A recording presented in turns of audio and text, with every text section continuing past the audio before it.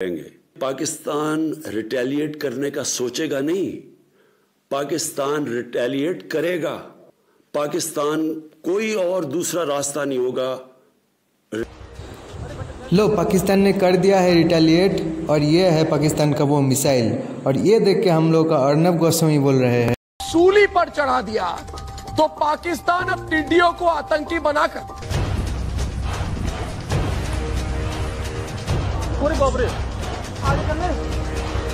बंद करो कर पा रहा है। ऐसे कमज़ोर और कायर पाकिस्तान से पूछता है सारा भारत दोस्तों कि क्या आतंकियों के बाद भारत में टिड्डियों वाली साजिश कर रहा है पाकिस्तान? भारत को धमकी देने वाला पाकिस्तान क्या टिड्डियों से ही हार गया है? अब ये सुन के पाकिस्तान के प्रधानमंत्री क्या बोल रहे हैं? ओ भाई मारो मुझे मारो मारो मुझे मारो मारो। नहीं ये मज़ाक हो रहा है एक सेकंड यार मज़ाक अर्नब गोस्वामी का बात के ये रहा टिड्डियों का सरदार का बयान। क्या बातें कर रहे हैं आप? अबे साले जब अभी मैं मस्त फ्राई किया हुआ खाना खाएगा।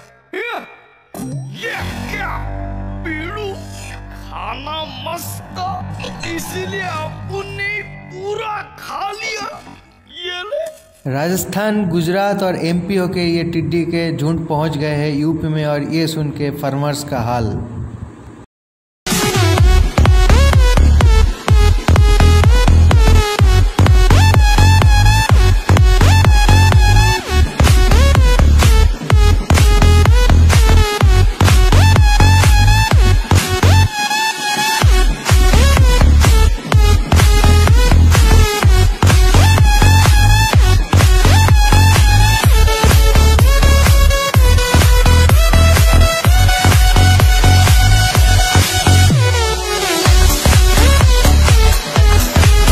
अब ये अर्नब गोस्वामी भी ना अच्छा मज़ाक कर लेते हैं। असली हकीकत की बात जो है, ये टिडिया आया है दूर रेगिस्तान से, ईस्टर्न अफ्रीकन जो डेजर्ट है उस एरिया से।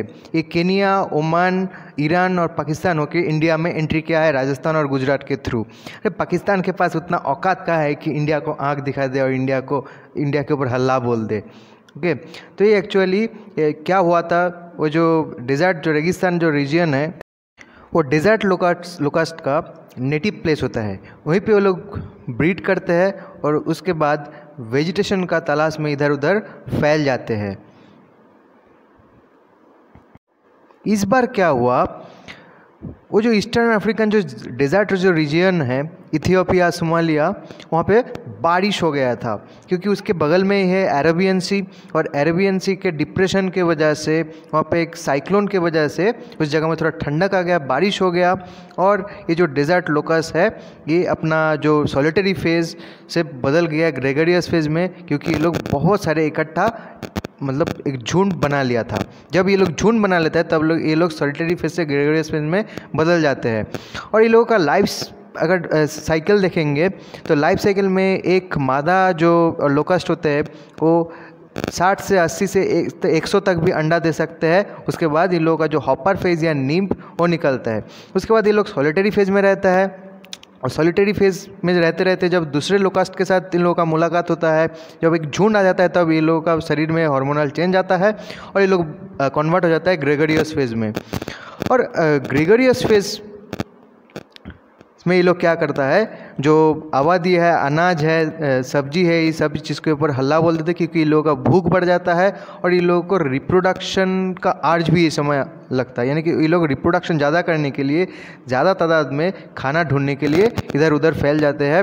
और इस बार क्या हुआ था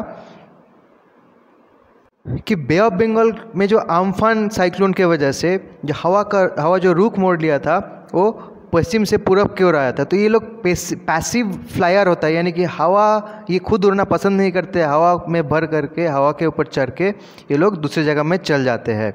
उन लोगों का रोकना है तो हम लोगों को ऑर्गेनिक फॉस्फेट जो पेस्टिसाइड है वो यूज़ करके इन लोगों को मारा जा सकता है या रोका जा सकता